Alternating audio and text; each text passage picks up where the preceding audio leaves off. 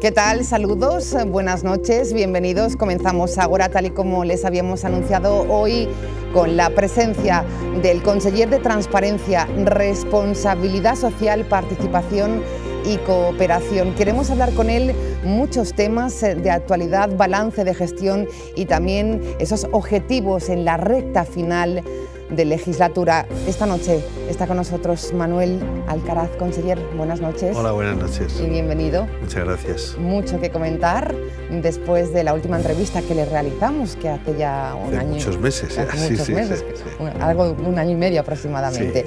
Mucho ha pasado, mucho que se ha realizado desde su consellería y todavía muchas medidas que se tienen que ejecutar en esta recta final. Efectivamente. Mucho por comentar. Repasamos la trayectoria de nuestro invitado hoy, el conseller de Transparencia. Manuel Alcaraz Ramos es desde el 2015 el conseller de Transparencia, Responsabilidad Social, Participación y Cooperación de la Generalitat Valenciana, un encargo que le pidió el presidente de la Generalitat, Chimo Puig. Es licenciado en Derecho y profesor de Derecho Constitucional en la Universidad de Alicante. Ha pasado por las filas de Esquerra Unida y dedicó buena parte de su trayectoria a ser concejal de Cultura en el Ayuntamiento de Alicante. Desde 2012 hizo pública su militancia en Iniciativa del Poble Valencià dentro de Compromís. Su labor al frente de la Consellería de Transparencia se centra en la creación de instrumentos eficaces para luchar contra la corrupción y darle forma a la ley del gobierno abierto, que sustituirá a la actual ley de transparencia. Alcaraz afirma que el Consejo actual ha avanzado mucho en materia de transparencia, impulsando medidas como el Plan de Atención Ciudadana o el portal GVA Oberta, donde se muestran datos referentes a la Generalitat, como los sueldos de sus miembros, regalos o contratos. Esta noche se entrevista en Ágora al consejero de Transparencia Manuel Alcaraz. ¿Satisfecho, conseller? ¿Es más transparente este nuevo gobierno? Yo creo que sí. Bueno, primero es eh, la, satisfacción nunca puede ser completa. Si yo fuera estuviera completamente satisfecho dimitiría, porque siempre queda mucho por hacer en este campo y en cualquier otro. Eh, segundo, hombre, yo creo que es obvio que no hace falta mucha explicación para demostrar que este mm, Consell es infinitamente más transparente que los anteriores, que cualquier otro gobierno que haya habido. Seguramente somos uno de los gobiernos más transparentes de España en este momento y, y estamos mejorando y nos queda mucho todavía por hacer. Estamos empezando. Es decir, eh, los gobiernos anteriores, ni por obligación legal ni seguramente por vocación política, acometieron políticas directas de transparencia No y de existía, buen de hecho, la gobierno. consellería de- No existía una consellería, ¿Cómo no la existía un centro de decisión política mínimamente importante, no había una legislación. Estamos empezando prácticamente desde cero y en algunos, en algunos casos desde mucho menos cero. Nuestra consellería, por ejemplo, lleva cooperación. No hace falta que recordemos lo que hizo Blasco. Entonces, claro, mm, estamos restaurando. Esto le ha lado, costado, conseller, esto le ha dificultado el día a día en su consellería, eh, la concienciación, trabajar con los ayuntamientos también, que lo está haciendo codo con codo eh, en, en esta, en esta nueva nuevo Mm. objetivo de transparencia. ¿Ha costado? Vamos a ver, ni más ni menos supongo que cualquier otro área del gobierno. Nosotros lo que tratamos de explicar es que somos nuevos, por lo tanto mm, aportamos novedad, somos conscientes de que en los temas de transparencia estamos muy próximos al fenómeno indeseable de la corrupción y que por lo tanto eso a veces da un cierto morbo. Pero no nos sentimos especialmente raros. ¿eh? A veces nos, nos dicen que somos los frikis del Consell. Bueno, pues es verdad que a veces estamos desarrollando un tipo de políticas, como digo, que nunca se habían hecho, no solo aquí, en otros lugares de España.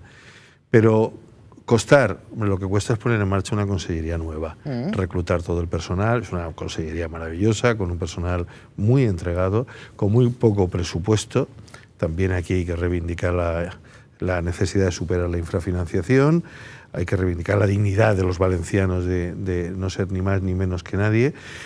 Eh, y bueno, eh, si tuviéramos más dinero, más personal, más técnicos, funcionaríamos mejor, seguramente. Pero bueno, nos sentimos moderadamente satisfechos, entendemos que va calando nuestro mensaje, que la población eh, entiende lo que estamos haciendo, en la medida en que, como digo, yo, yo lo recuerdo a mi personal, Sí. mm, lo importante, importante, importante es que por las mañanas hablan los centros de salud, los colegios, eh, los hospitales, los juzgados, eh, la atención a los dependientes y que todo eso se haga bien. Y ahí entramos nosotros. ¿eh? Somos conscientes de la importancia que tenemos, que es mucha, pero ya decir, lo más importante de la transparencia, nunca lo diremos. Está claro. Eh, por cierto, no es una de las medidas más importantes, pero sí llama la atención. El portal de GVA Oberta acumula más de 2,4 millones de visitas en su segundo año. Esto demuestra que hay interés, es decir, que la gente entra, que quiere ver esa transparencia también.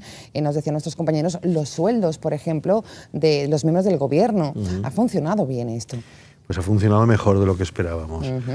Em, dos millones y medio de visitas son muchas visitas. Un instrumento eficaz, entonces. Está siendo eficaz porque es utilizado. Es decir, aquí sí que no caben otras interpretaciones. Si la gente no pensara que es eficaz, no entraría. ¿no? Vamos a ver. Mm, nosotros esperábamos, porque es lo que ha pasado en otros, eh, en otros portales similares, institucionales, que cuando se abre despierta mucha curiosidad. Hay una subida y luego paulatinamente hay una bajada y luego se estabiliza. Nosotros no hemos parado de subir. Va a épocas del año. Normalmente cuando son vacaciones baja un poco. La gente a lo mejor está de mejor humor y no quiere saber lo que hacen los consejeros. Y luego efectivamente hay una parte de cosas que ¿Qué se, ¿Qué se, usa o para qué se usa? Por un lado, digamos, una sana curiosidad. ¿Qué es lo que más se suele visitar? En general, promediando, las agendas de los altos cargos. Ahí está muy bien. Mm. Es decir, cualquier ciudadano puede entrar en este momento y saber la agenda de hoy, o la de mañana, o la del presidente, etc. Ahí están las agendas. Eh, sueldos, etcétera. Lo que pasa es que sueldos, pues una vez que lo han visto, como no, subimos los sueldos, pues Se queda igual este no, tiene, no tiene mucho morbo. Y luego cosas que son útiles. Eh, hay mucha información útil de dónde acudir para solventar determinados problemas, de ver los organigramas de la Generalitat, las relaciones de puesto de trabajo. Entonces hay todo un material, cómo van elaborándose normas jurídicas, o sea que para muchas personas... Muy didáctico también se ha conseguido sí, este tratamos de que sea muy didáctico. Esto lo dicen todos los especialistas. Hombre, hay algunas cosas un poco más complicadas. Pero los, temas principales deben estar a tres toques de botón. Facilitar a la ciudadano. Claro, si no, el ciudadano se desanima. ¿eh? Comentamos el barómetro que conocíamos recientemente, queremos tener su opinión también al respecto. Como saben, paro, sanidad, corrupción y educación entre los principales problemas de los valencianos. Recordamos los datos del barómetro. La Generalitat ha donat a conèixer quins són els temes que més preocupen als valencians, segons el baròmetre encarregat per al mes de desembre de l'any passat. L'informe reflectís que l'atur, la sanitat i la corrupció són algunes de les preocupacions que tenen ara mateix els habitants de la comunitat. Per al president Ximo Puig, la societat ha canviat la seva percepció de la gestió política i s'ha començat a superar les crisis del passat. L'objectiu era devolver la estabilitat, eh, rescatar a les persones, restablecer la confianza e impulsar el diálogo entre los valencianos para resolver esta situación.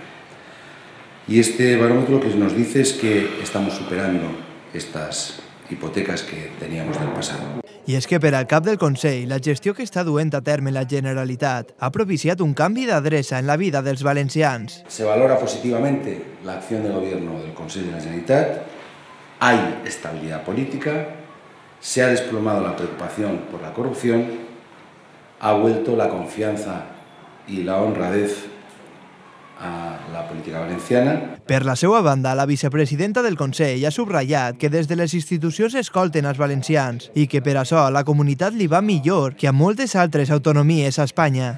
El Consell escolta els valencians i valencianes i les nostres polítiques entronquen molt en les prioritats de, dels ciutadans.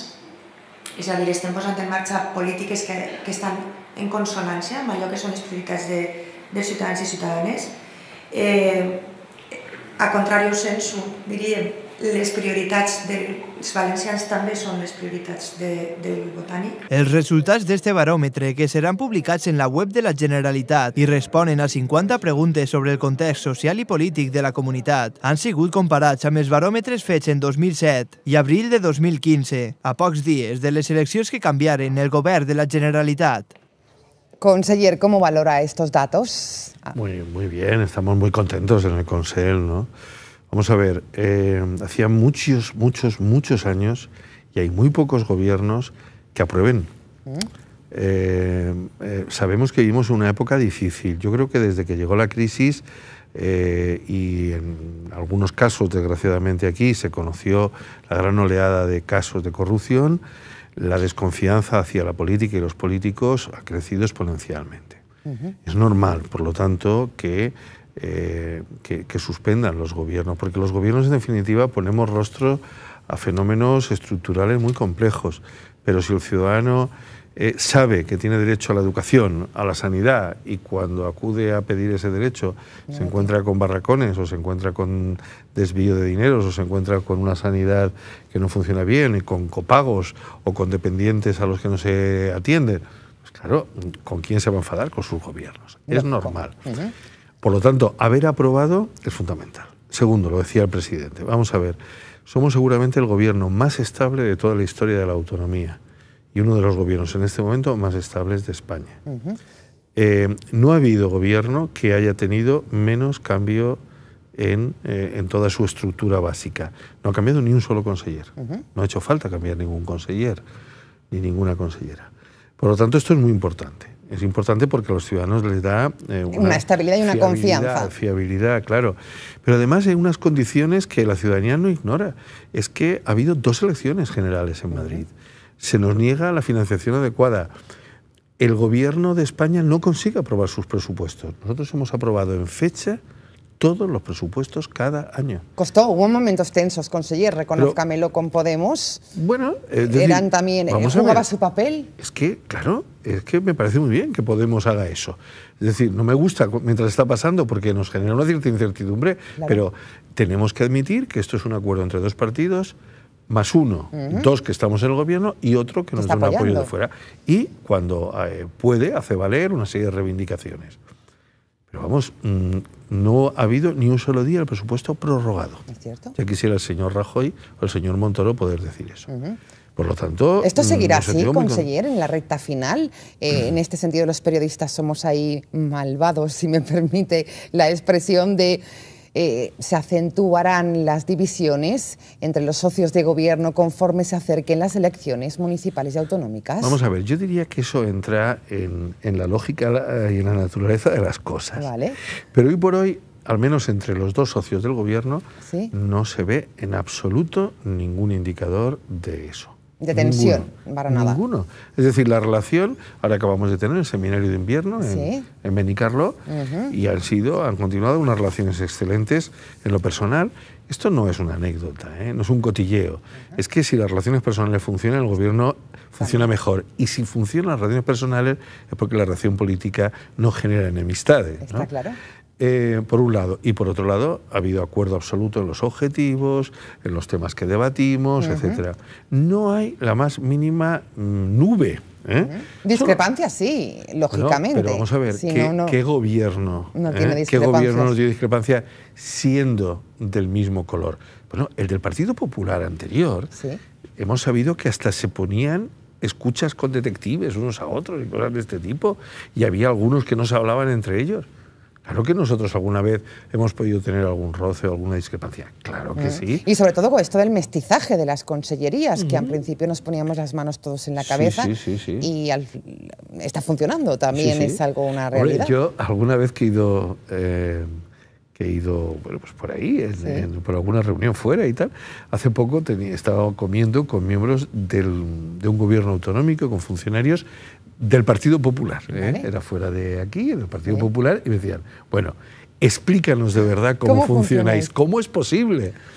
Bueno, pues yo creo que, porque yo creo que, vamos a ver, las fuentes de legitimidad básicas del Partido Socialista y de Compromís se han construido en una oposición muy dura y hemos tenido tiempo de madurar un proyecto alternativo que en sus grandes líneas compartimos. Esto es muy importante. En segundo lugar, eh, hay unos liderazgos claros en Chimo Puig y en Mónica Oltra, incontestados en los dos partidos, que facilitan mucho las cosas. Y yo creo también, eh, no nos dejemos tampoco superar por la modestia y por la humildad, que se ha conformado un buen equipo, un buen equipo, hemos conformado buenos equipos y hemos, eh, hemos sido capaces de transmitir a la opinión pública que bueno, hay una cierta capacidad de trabajo. Yo creo que el PP nos, mira, nos mm, valoraba mucho, ¿no? Pensaba que éramos personas sin experiencia de gobierno, etcétera, lo cual no en todos los casos era verdad, además, ¿no? Pero que, bueno... Se ha conseguido esa, esa estabilidad. un equipo bueno y estable. Me decía que no se ha producido ninguna destitución de ningún conseller, sí en el segundo escalón, secretario autonómico recientemente, Julia Álvaro. Eh, ¿Cómo valora también este, este punto? Eh, habían discrepancias, eh, ha sido una decisión, decía el propio presidente, que quería un equipo unido, precisamente como usted decía. Vamos a ver. Mm, en, esa consellería había, había, surgido algunos problemas, eran públicos y notorios, y se quería dar un, un, impulso porque tanto la agricultura como el medio ambiente, fundamentalmente el medio ambiente, que era lo que llevaba el compañero Juli Álvaro, mm, se aprecia que es muy importante para nosotros y que la recta final se quiere tomar ese impulso. Que no es ninguna desgracia si hay más cambios. Yo insisto, reto a cualquiera que me diga un gobierno que yo recuerdo ha habido dos, no recuerdo si tres, porque a veces confundo direcciones generales con secretarios autonómicos, cambios ya vamos para tres años. Es y, uno, y, dos o tres directores generales, nada más.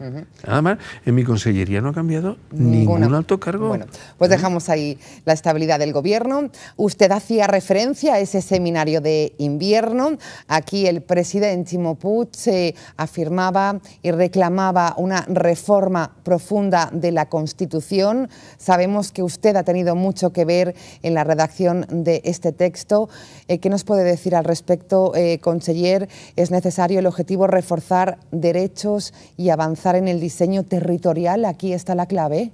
Mm. yo, yo soy profesor de Derecho Constitucional en la introducción y yo hace ya bastantes años, como profesor, no hablando como político, que a mis alumnos les explico que cuando se hizo la Constitución, China era un país, un prototipo del atraso, eh, donde la gente no sabía ni ubicarlo en el mapa a veces. España no pertenecía a la Unión Europea no existía, no es que no existiera Internet, es que la mayoría de la gente que votó la Constitución no había visto nunca un ordenador, era una máquina de película de ciencia ficción. ¿Cómo no va a tener que cambiar una Constitución cuando mm, China hoy se ha convertido en el gran gigante comercial, como España es miembro de la Unión Europea desde hace muchos años y como em, la, cultura y la economía mediada por la red eh, es dominante en el mundo? Eso afecta a la realidad social y por lo tanto una constitución que se aleje de la sociedad no es buena. Hemos visto que la constitución, que es una gran constitución, una obra magnífica, maravillosa, de un periodo dorado de la historia de España, pese a sus claroscuros, que fue la transición democrática, sin embargo, como todas las constituciones, Alemania ha cambiado en este, en este periodo aproximadamente 40 veces la constitución. y no parece que les vaya mal a Alemania.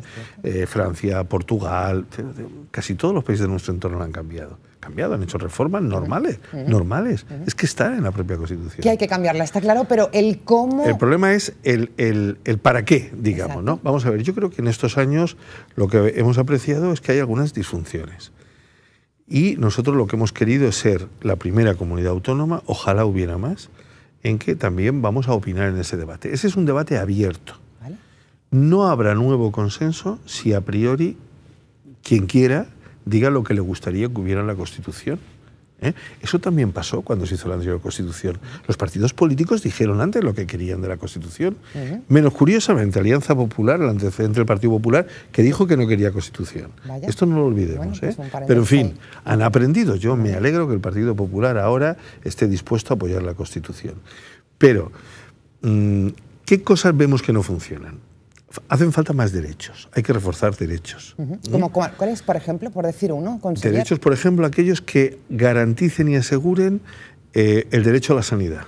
Cosas que tengan que ver con los derechos relacionados con el medio ambiente. Y la vivienda, por ejemplo. Cosas que tengan que ver con la vivienda. Son cosas que están enunciadas en la Constitución como grandes principios, pero deben convertirse en derechos subjetivos. Derechos relacionados con la dependencia, con el bienestar social, con la igualdad y la inclusión. Con los inmigrantes ¿Mm? Hemos de reforzar algunos derechos que ya existen, por ejemplo, la libertad de expresión en lo que tiene que ver con redes sociales. ¿eh? Es decir, hay muchas cosas que tenemos.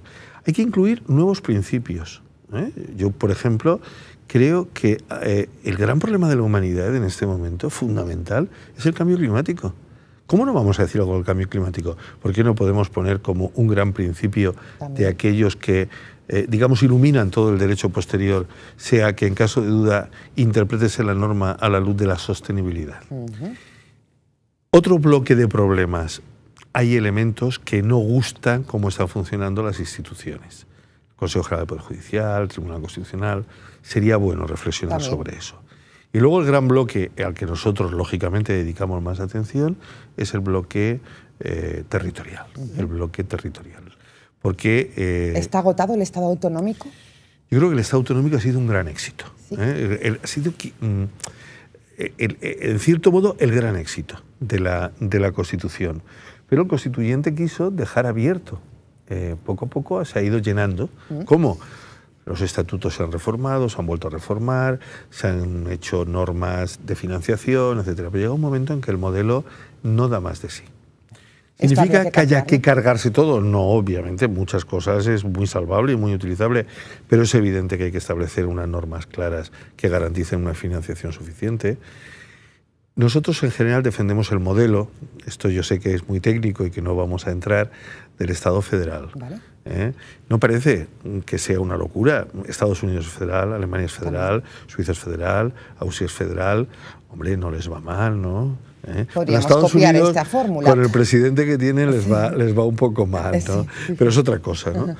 ¿Por qué, por qué no podemos eh, eh, inspirarnos en ese, en ese modelo? Pues, Para pues todo ello, consejera, hace falta consenso entre todos los partidos políticos. ¿Cree que se producirá en breve esta reforma de la Constitución, que es necesaria, lógicamente? Mira, si me preguntas si se va a producir en breve, diría no.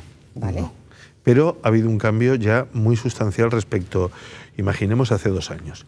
Es que todo el mundo está hablando de reforma constitucional. Nosotros estamos hablando de reforma constitucional. Hace el dos años va a capitanear también sí, sí. llevarla al Senado. Vamos a ver, nosotros, y eso se plantea en ese documento, entendemos, la Constitución fija un título dedicado a explicar cómo se hace la reforma constitucional en las Cortes Generales, lógicamente. Eso no se toca, ¿eh? eso es sagrado, está en la Constitución. Pero nada impide que se abra una especie de foro, de convención. Eso se hizo en Europa cuando se quiso hacer la Constitución Europea, luego no se aprobó, pero fue por otras razones, que se abra un foro donde toda la riqueza de la pluralidad del Estado, ¿eh? con todo tipo de asociaciones, de entidades, etcétera, puedan participar. Y cómo no las comunidades autónomas. Nosotros reivindicamos, queremos ser, al menos nuestra comunidad autónoma, que no quiera que no venga, queremos ser un sujeto activo del proceso de reforma de la Constitución. Queremos que se valoren nuestras opiniones, queremos confrontar nuestras opiniones con otros actores y después los grupos parlamentarios y finalmente un referéndum que decidan las reformas que haya que hacer. Pero no renunciamos ni renunciaremos a ser un actor Mm, auténticamente activo en el, proceso. Pues un documento que ha preparado eh, concienzudamente, además con su bueno, yo coordiné, coordiné un borrador, he hablado mucho con el presidente, con la vicepresidenta, eh, casi todas las consellerías hicieron después eh, algunas aportaciones. Un equipo bueno muy reducido ha estado trabajando porque bueno no era un buen no era no era un tipo de documento bueno para que se filtrara eh, prematuramente, porque son temas en los que a veces un matiz en una opinión pueden alterar todo el texto y no queríamos malos entendidos. Pues seguirá hablando, se seguirá de actualidad esta reforma de la Constitución y sobre todo, eh, bueno, pues eh, la iniciativa ¿no? del gobierno socialista, el presidente Chimo que va a pelear por ello. Eh, consejero, hoy hemos dicho que iba a estar con nosotros y los valencianos, la calle, han querido hacerle alguna que otra pregunta. Dispuesto a contestarlas. Por supuesto. Venga, pues vamos con las preguntas de la calle al conseller, la primera de ellas. Señor conseller, ¿cómo se puede acabar con la corrupción? Mm. Eh, Ojalá tuviéramos. Nadie tiene la solución. ¿eh? Nadie tiene la solución. Eh, vamos a ver, yo creo que con la corrupción en abstracto probablemente no se puede acabar. En, definitiva, es tanto como preguntar cómo se puede acabar con, los robos. Es decir, bueno, eh, sabemos que en, las sociedades son sociedades muy complejas, siempre habrá alguien que se quiera, eh, que quiera ser un corrupto o que si tiene ocasión trate de aprovecharse.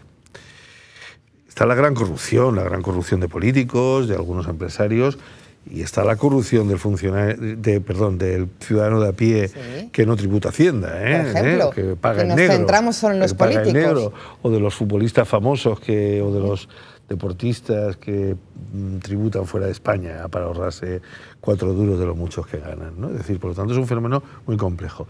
De lo que se trata es de poner unos medios que hagan muy difícil que la corrupción se pueda hacer. Yo diría, por un lado, una serie de medios técnicos, toda una legislación en materia de transparencia, de buen gobierno, lo dificulta, mecanismos de inspección eh, temprana, ¿eh? temprana. No cuando el problema ya es muy grave, sino que eh, de manera lo más prematura que se pueda, se vayan viendo aquellos focos donde puede surgir eh, la corrupción, por ejemplo, contratación, eh, a- eh, aquellos lugares donde puede aparecer el clientelismo, las subvenciones, etcétera, que hay una revisión constante, constante, muy temprana. Son cosas que nuestra consellería lo hace, haciendo, o la consellería también de Hacienda en materia de contratación, por ejemplo. Eh, y esto, esto es importante, ¿no? Eso yo creo que es algo importante. Y en general también algo eh, clave, y es generar climas anticorrupción.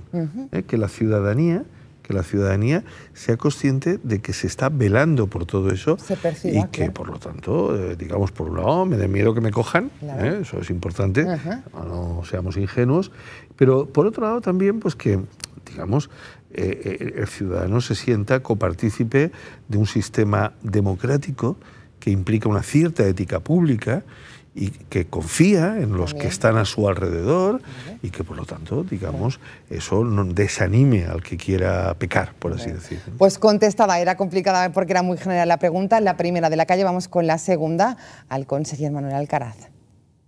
Señor conseller, iniciativas en materia de transparencia para este año. Bueno, mm, eh, vamos a ver, tenemos en, en las Cortes Sí. eh, en este momento dos leyes. Se aprobó ya una, que no es exactamente transparencia, pero nos sentimos muy orgullosos, que es la de cooperación internacional. Hay que recordar que nuestra consellería, aunque, que hablamos de transparencia Siempre sobre todo... responsabilidad ¿eh? social, participación y cooperación Bueno, también. pero el 55% del presupuesto se dedica a cooperación internacional. Caray, ¿eh? vale. Es muy importante. Sí.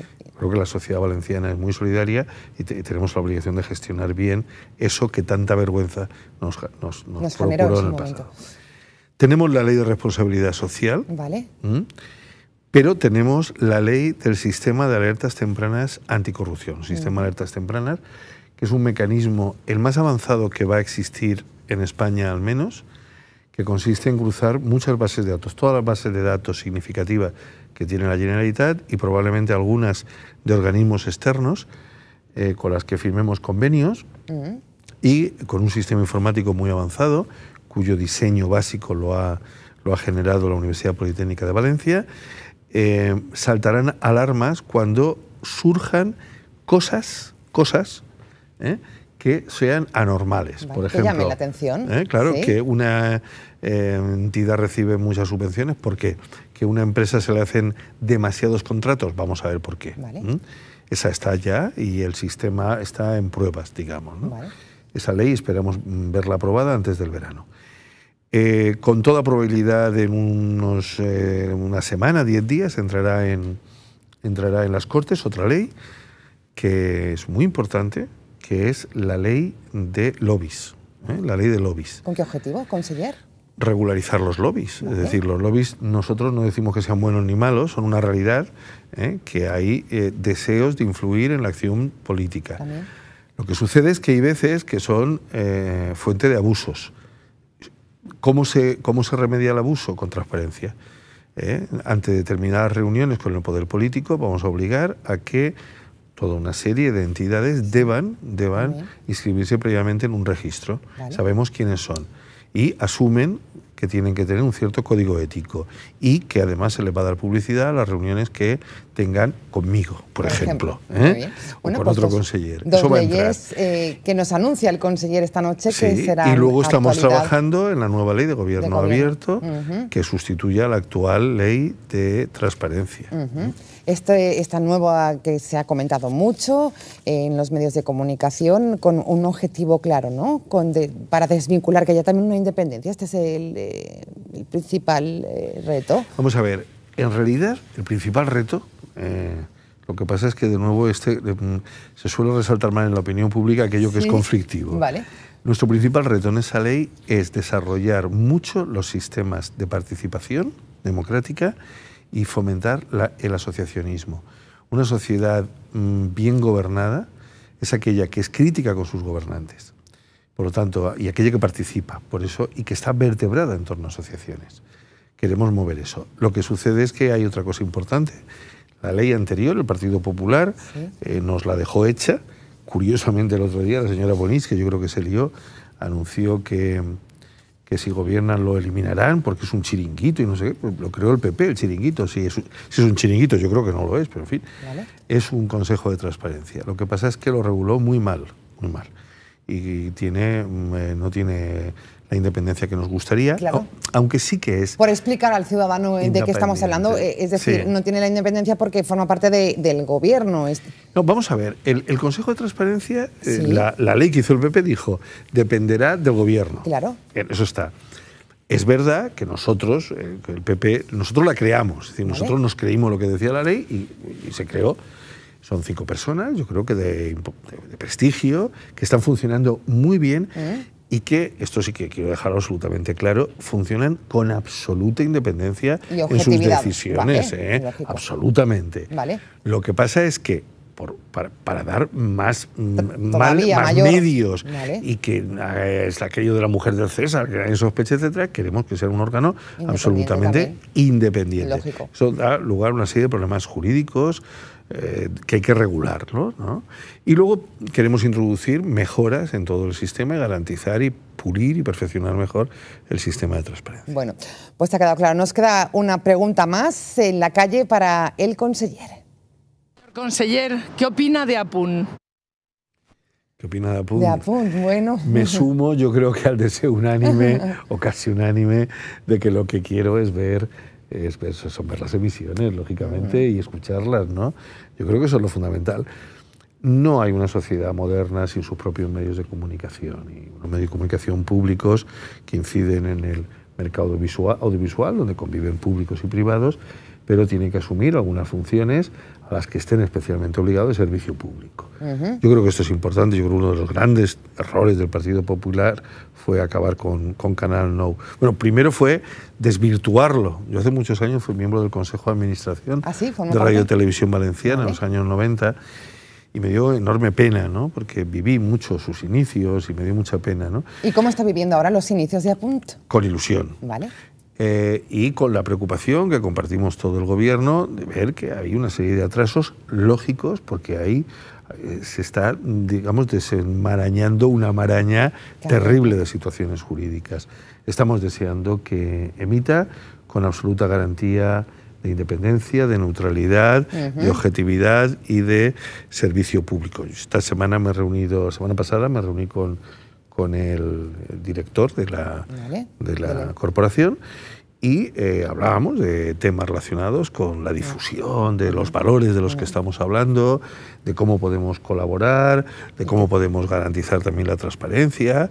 Y bueno, yo creo que hay un, bueno, percibí por su parte un deseo absoluto de, De que se de- de colaborar en, en estas cosas. El cuándo es la X, que todavía no ¿Cuándo podemos contestar. Y al no seré yo ni nadie del gobierno que se quien se atreva atreva. a aventurar una fecha. Bueno, la semana pasada vivimos también, conseller, eh, les Corts Valencianes, eh, la aprobación eh, con el voto en contra del Partido Popular y la abstención de Ciudadanos que la Fiscalía, una medida, reclame al Partido Popular la subvención electoral de 1,2 millones de euros que recibió por los comicios autonómicos de 2007. ¿Qué le pareció esta medida? Bueno, Yo como miembro de un gobierno democrático soy un fiel y obediente seguidor de lo que acuerden mis cortes. Vale. Eh, Una iniciativa a presentada veces- por compromiso, además. A veces lo hago mm, eh, con algunas dudas Sí. y en este caso con gran satisfacción. Bueno, vamos a ver, no está en, nuestro mano, en nuestra mano. Si mi consellería se acuerda, probablemente si esa fiscalía, eh, quien haga la gestión, si hay que hacer Sí. una gestión, sea eh, justicia, no, no lo hemos hablado todavía, eh, o mi consellería, pues tengo que hacer algo, pues mm, eh, muy alegremente lo, lo haré. Eh, yo creo que es, que es justo y que es lógico, ¿no? Y que el PP sigue todavía sin ser capaz de entender de todo el, todo el daño que le causó a la democracia valenciana. Yo creo que hemos de acostumbrarnos a esta idea. La Comunidad Valenciana no es una cosa que está por ahí, una, eh, para hablar de banderas o para hablar de... No, no, no, es, es, un sistema democrático. El sistema y la democracia se basa en la confianza que depositan los ciudadanos soberanos en sus gobernantes. Es tal la escandalera que el PP ha motivado. Mm, es tal el, el, el sonrojo que causa, que, que, me causa a mí, que, sí. que más bien me he dedicado los últimos años a criticar, declaraciones como la de Costa, actitudes como la de Camps y actitudes como la del PP actual en las Cortes, que todavía me sigo preguntando ¿Hasta cuándo no se van a dar cuenta del daño del que daño han causado? Que Vamos a escuchar ¿no? precisamente las declaraciones recientes que realizaba el expresidente Francisco Camps en torno al caso Gürtel. Gracias a Dios no estoy preocupada de nada, eh, absolutamente de nada. Es una enorme suerte tener la tranquilidad de no haber hecho absolutamente nada. ¿eh? ¿Sabes? Pero ¿no le preocupa que le puedan imputar en un futuro después de este juicio? No, y vamos a ver. Dado el testimonio Llevo... del señor Costa. No, que ya dije que no era cierto. Por lo tanto, es imposible que me imputen algo que no he hecho. Es un absurdo. Espero, vamos, porque me han imputado cosas que desde luego no he hecho. Y si me pasa esto, pues ¿qué le vamos a hacer? Así es la vida. Pero es que no hay absolutamente nada. Ni hablé nunca con nadie y hasta el señor Costa es consciente de que lo que dijo no era cierto. Le sonroja estas declaraciones, esta situación. Bueno, el calendario judicial es complicado ahora mismo sí. para el Partido Popular. Yo me alegro de que el señor Camps tenga la conciencia tranquila y que descanse por la noche. Yo, no te, yo creo que este tipo de cosas, eh, yo no me alegro mm, de que la, la, vida le vaya mal a nadie, es decir, a nadie. ¿no? Tampoco a mis adversarios políticos, pero de nuevo me parecen unas declaraciones fuera de la realidad. Es decir, ojalá las cosas fueran tan sencillas. El problema es que si tuviéramos que creer todo lo que el Partido Popular ha dicho, sus dirigentes han dicho en los últimos seis o siete años, es que no hubieran pasado muchas de las cosas que sí que han pasado. Alguien ha tenido que hacerlas y las únicas que podían ser eran ellos. Que si él sabía, no sabía, sabía. que lo decidan los jueces, ya que ellos han querido, ya que no rindieron cuentas en las Cortes. Uh -huh. Las Cortes este señor iba y que hacían lo suyo, le jaleaban. Uh -huh. Pues este es el problema, claro. que el PP es incapaz de cambiar ese chip. Sigue ahí. No puedo decir exactamente lo mismo que decía cuando gobernaba, pero sigue todavía prisionero de decir que bueno, que las cosas es que iban muy bien, todo era maravilloso, todo era maravilloso. Desgraciadamente es que Veremos mientras ocurría la corrupción, claro. también se empobrecía uh -huh. el pueblo valenciano, se hundía la economía valenciana, se hundía el crédito valenciano. Uh -huh. Este es el drama. El señor Camps sigue en el Consell Jurídic Consultiu, su consellería trabaja, eh, bueno, pues también mucho con el Consell Jurídic, con esos eh, documentos también, esos informes. Sí, bueno, ¿Cuál es su opinión al respecto? ¿Debe abandonar el señor Camps el Vamos Consell a ver, Consultiu? Eh, en este momento con la legislación actual no se le puede obligar a, a que lo abandone. Mm, yo solamente me atrevo a pedirle que por el bien del pueblo valenciano que no yo creo que no confía, lógicamente, mm, en su neutralidad y que no confía en que tenga la situación, digamos, eh, de equilibrio intelectual, uh -huh. eh, en el sentido de alguien que tiene que intervenir en hacer determinadas cosas que, eh, que limita, que sería lo mejor para el Consejo Jurídico para la democracia valenciana y me atrevería a decir que para él. También. Recta final de legislatura, mucho todavía por hacer. Ya nos ha avanzado a lo largo de esta entrevista esas leyes importantes que van a ser noticia en las próximas semanas, que serán una realidad. ¿Algo más, conseller, que le preocupa en esta recta final, que le gustaría acabar dentro de esa gran área que lleva? Bueno, nosotros estamos... Eh, por un lado, yo, yo, diría que si tuviera que resumir, que ¿Sí? lo de mi, mi consellería es poner las bases de políticas integrales en materia de buen gobierno, en materia de responsabilidad social y en materia de cooperación. Las bases las estamos poniendo, yo diría que en un doble o triple nivel. Primero con legislación, vale. no existía o había que cambiarla, como en el caso de cooperación. En otro es que no había nada, nada. había prácticamente ¿Cero? que hacerlo o renovarlo todo, como lo de transparencia. No digo que estuviera todo mal en la ley de transparencia, que lo que hemos hecho ha sido desarrollarla con varios decretos.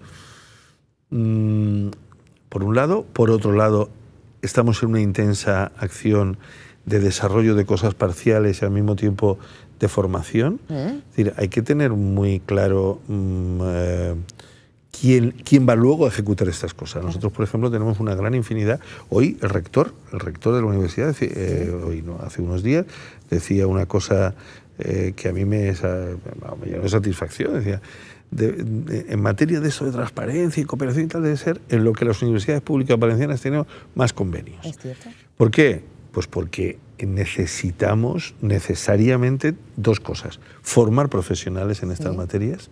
Es que esto es nuevo. Claro. Y tenemos que... y- Concienciación también, Claro. formación, concienciación. y aprender nosotros mismos. También. Es decir, este tiene que ser un gobierno, y desde luego en mi consellería, que nos caracter- caractericemos por estar hasta el último minuto aprendiendo. La sociedad valenciana es muy activa, muy dinámica, hay mucha gente que sabe, y otra a la que hay que enseñar y a la que hay que sensibilizar. En eso estamos. Seguiríamos horas y horas hablando con usted, pero se nos acabó el tiempo, se nos pasó muy rápido. Conseller de Transparencia, Responsabilidad Social, Participación y Cooperación. Gracias por haber estado con Gracias nosotros. a ti, gracias a ustedes por escucharme. Ujú. Y nos vemos pronto. Y nos volvemos a ver cuando queráis. Venga, pues Ah. gracias, en serio, buenas noches. Gracias. Buena nit. Ha sido nuestra entrevista hoy, especial en Ágora. Como siempre, mañana volvemos a la misma hora, sobre las nueve y cuarto. Les espero, como siempre, con la actualidad que interesa a los valencianos. Buenas noches, buena nit.